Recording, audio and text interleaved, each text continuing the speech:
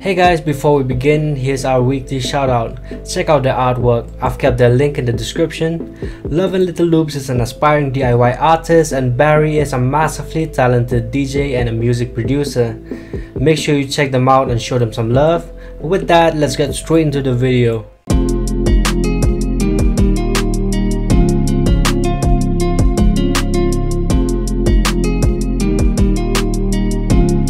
What is up guys, it's Ghost Reverb again and today we are going to talk about 5 advice to any music producer who's just starting out.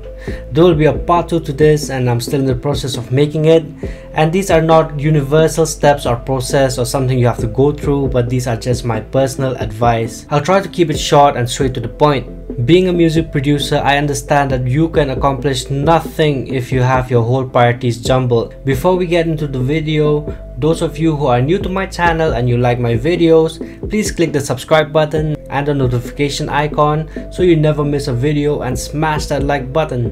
Here are my 5 advice to any music producer who is just starting out. Music theory is very essential. I'm not saying that you can't do without it, I have friends with mad talent and they get on pitch easily. But for some of you who keeps on wondering why are your beats off, take an hour or half an hour a day to learn about the music theory. Check out free online courses if you may, or if you want to really dive into music production, you can invest in online coaching or go to a music school as well. As for me, I've learned it the hard way. I always made beats and tracks listening to them by ear, and for some reason, I never got the pitch right. I did not know how to correct the pitch, nothing on the scales, staff, and everything else. Like I said, my beats always sounded way off until I started learning music theory. Check out some courses on Udemy or similar sites. For me personally, I learned using the courses on Udemy. A digital audio workstation has been relevant since a very long time and almost everything in the music production requires you to use a DAW. I mean, even in a live recording where you can have people on the instruments, you still would need a DAW for mastering and mixing vocals and the track. Choose your DAW based on your comfort zone. I personally use FL Studio 20. I'm going to take an example of two widely used DAW for music production, FL Studio and Ableton Live. Although you have other DAWs like Pro Tools which have been very popular in the industry nowadays but anyways, for the sake of comparison, FL Studio and Ableton. FL Studio has tons of features but Ableton has that workflow that gives you that peace of mind. Which one would you choose? that is again up to your comfort zone of course there is no competition going on here on which one can make you produce better or anything like that there's no such thing we do not have a winner or we do not intend to make this a competition either but all i can say is that these daws are worth spending for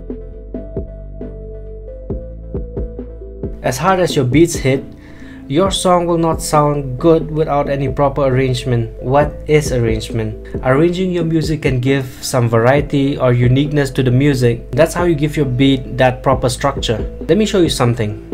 We are going to use a 14 second samples from the kit plug. I'll put up their link in the description as well and it sounds something like this.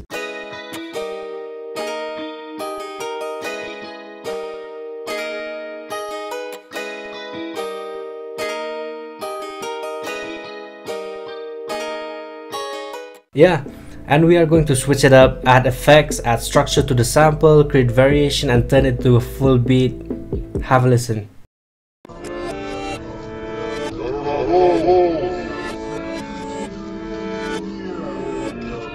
Walk